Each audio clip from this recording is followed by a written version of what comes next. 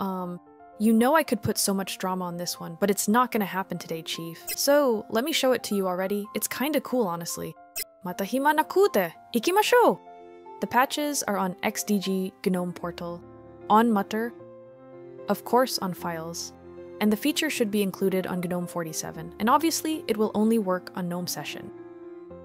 So, from now on, when we are saving a file, a baby Nautilus will launch instead.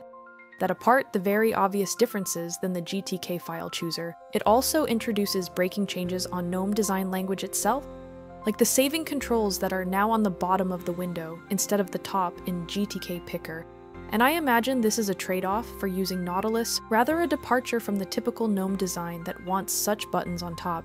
The input itself isn't that convenient to be honest, but it has some nice features. For example, selecting a file name that already exists will draw a red replace button, or the selection will get a yellow accent. However, the input mechanics don't help for fast renamings. Um, I won't complain since this is an initial effort, but I certainly expect lots of improvements in the future. Obviously, we can switch to a list of view, and meanwhile, there is no context menu here, so if we want to create a new folder, we will do it like that. With some slightly more modern graphics, by the way. You noticed the new dialogue, didn't you? It's not much, but it hits you immediately, and the same happens with all the new dialogues in GNOME 47 that I never had the time to show you, but whatever. Um, what else?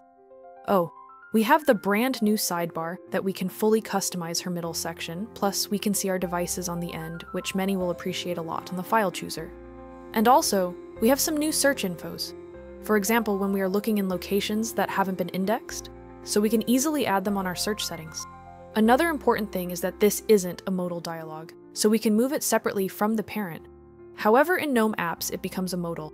Speaking of which, there is also a fix, not yet merged though, that allows to kill modals from Adwaita apps from Mutter settings. Um, the same situation is also when we open files. And remember when I told you before about how the file picker works as a modal on GNOME apps? What I did forget to tell you though is that now the file's thumbnails are finally properly cached, which was the embarrassing issue with the GTK chooser. Anyway, a file format filter here, some more options there, all of those need a little bit more work perhaps, together with the responsive mode. So the responsive mode doesn't work quite good at the moment, apart the sidebar. But you know what? If you really, really, really, really, really, really, really, really, really, really, truly, really don't like the blue open button, on GNOME 47 you can make it red. Isn't all that it matters on a file chooser after all?